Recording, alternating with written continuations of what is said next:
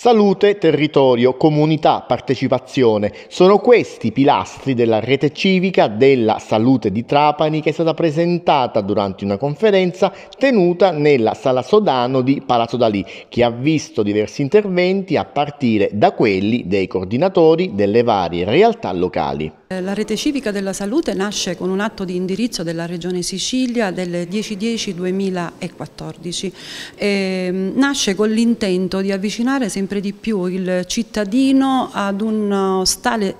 sano stile di vita, ma soprattutto ad essere dei cittadini informati. Grazie alla rete civica si può, ci si può registrare intanto all'interno della piattaforma della rete civica della salute per poi diventare anche dei riferimenti civici nel territorio territorio.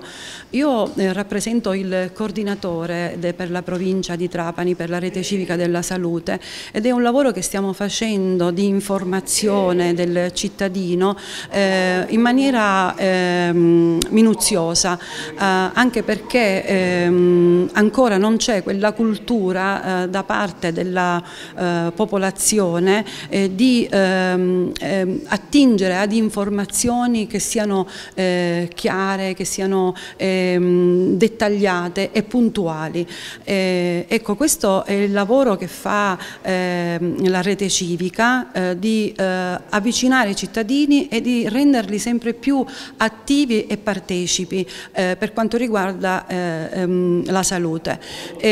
ma fa anche un'azione di prevenzione ehm, e su questo ci stiamo anche muovendo in rete con le varie associazioni del, anche del, con il terzo settore, eh, giustamente rappresentando eh, il territorio di Trapani, eh, io insisto eh, come attività eh, divulgativa e informativa nel territorio di Trapani, eh, ma siamo dislocati in tutta la regione Sicilia.